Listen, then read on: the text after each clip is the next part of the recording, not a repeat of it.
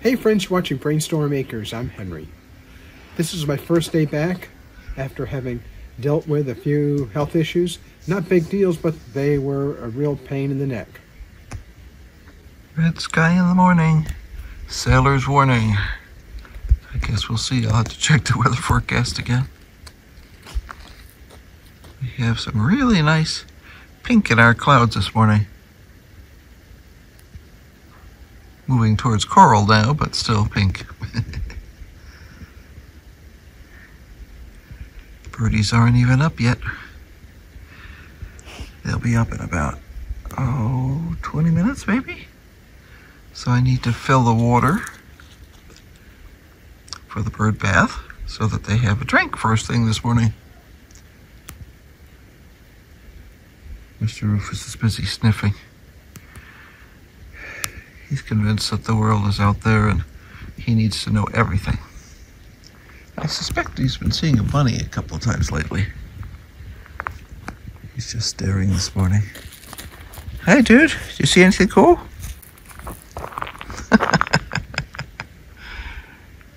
he says, eh, I don't know. I can hear next to one of our neighbor's roosters.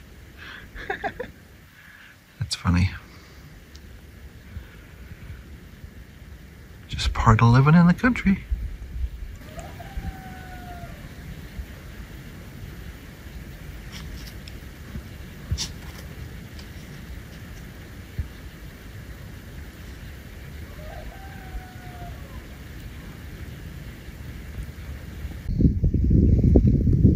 Chilly, huh? It's like 26 degrees this morning. Yeah, and I just put water in the bird bath. Birdies want me to leave, but I don't want to leave because Rufous hasn't gone potty yet. but they're on the, they're coming in a little bit. The bluebirds are really, really, really shy. And this is, flock is mostly bluebirds with a few random sparrows and an occasional dark dark-eyed junco or something like that, you know. But mostly bluebirds. And they need their water because everything's frozen this morning. And I just put out water. I may have to put it out again later. We'll have to see.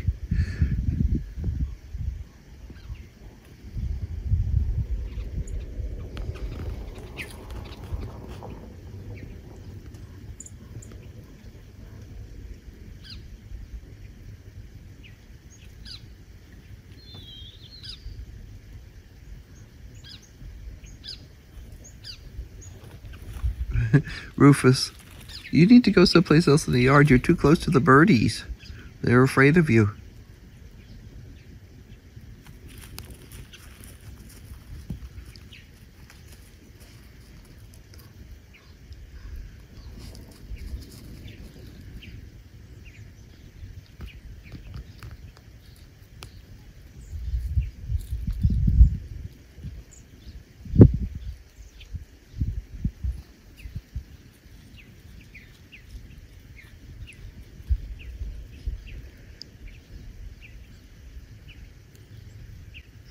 Sometimes in the morning I purposefully don't allow the cat out because I know the birds are really desperate for water and I want them to be able to get their water.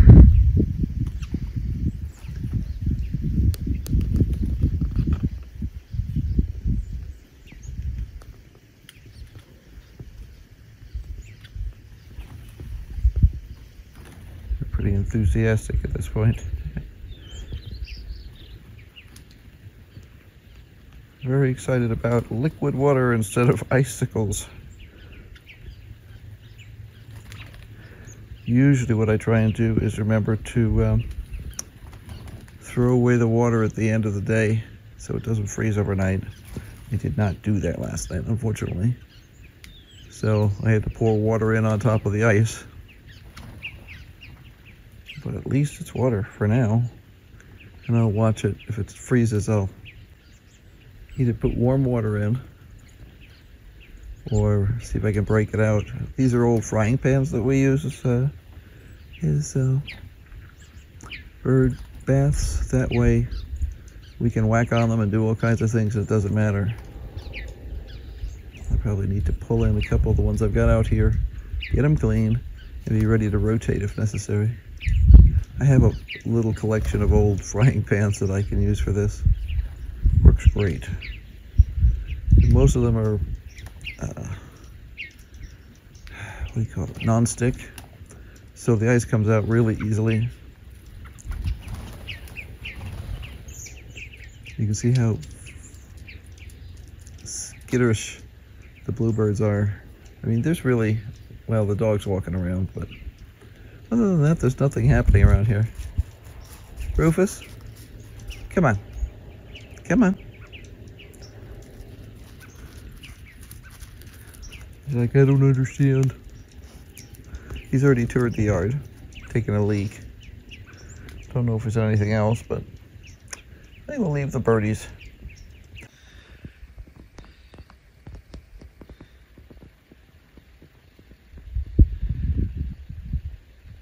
I built this little platform out of cement blocks for training for Rufous, but he loves to just sit up there sometimes and look at the world, and Miss Isa is coming to visit him. Very silly pussycats. And doggies. He's wondering what she's doing. And of course, she's wondering what he's doing. Makes sense. And it is chilly out here right now. That wind is like, woo. But he sits up there and you can see that little nose going. He is just checking out the world.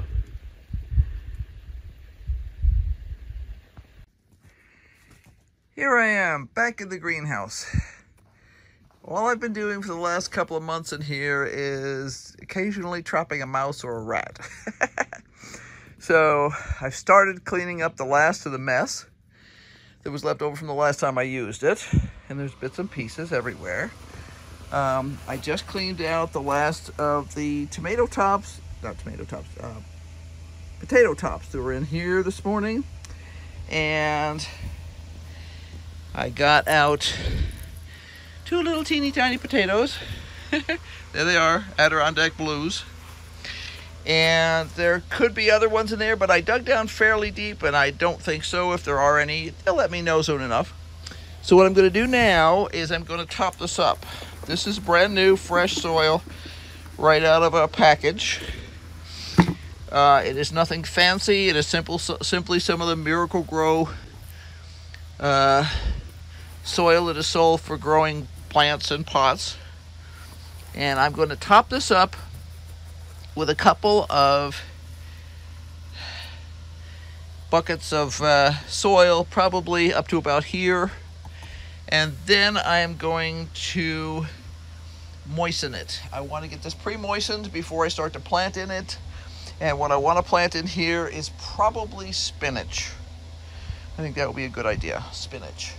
I'll either do, I'll probably do spinach in here. I'll do some um, kohlrabi and a couple of these other guys here. I have to get out some of the rat traps. And I need to do a little bit. I did some of the tying up here. I need to bring in a step ladder. I can't reach over here. Some of the uh, zip ties have died, which is normal. They're only good for about a year here. And even the ones that are UV protected.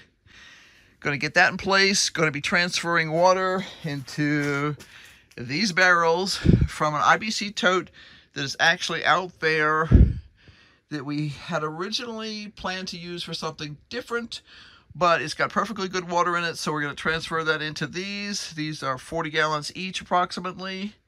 And uh, that will let me have a good selection of water in here for quite a while. It, even in the summertime that lasts for several weeks.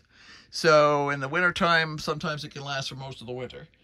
Uh, the goal is to actually pump the IBC tote that is out there dry and move it to another location. So, onward.